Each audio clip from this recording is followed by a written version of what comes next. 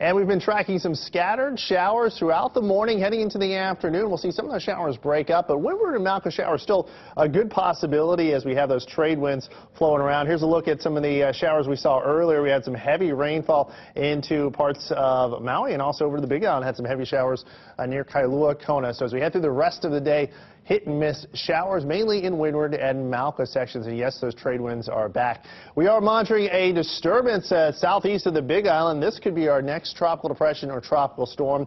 It's called Invest 96C, and that invest just means we're investigating. Winds at 30 miles per hour. The northwest motion is at 5. Computer models kind of all over the place with this invest, this disturbance we have to our south and east. The reason for that, it really just hasn't developed yet. And, and when those systems are weak, when they're uh, weak low pressures, we don't have a whole lot of information to feed into the computers. That's why the computer models can be kind of all over the place. Some of the models want to push it to the north and east of the Big Island, other models to our south. Bottom line is we'll keep a very close eye on it. If we did see any effects, that would be as early as Sunday, but mainly I think rain's probably the biggest threat right now. The wind impacts seem seem to be low, but again, a lot is up in the air. We'll just have to see if this does develop.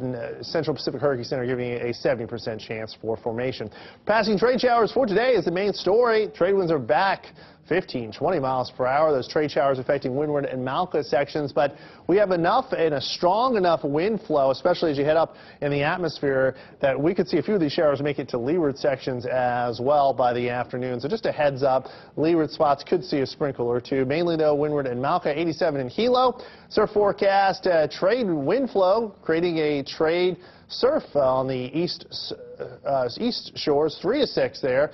And we do have a small craft advisory in effect for the waters off of Maui and the Big Island. Here's the extended forecast. Today, the first full day of fall. Fall started last night at 1021, but today we will have our first full day of fall. Not going to feel very fall-like.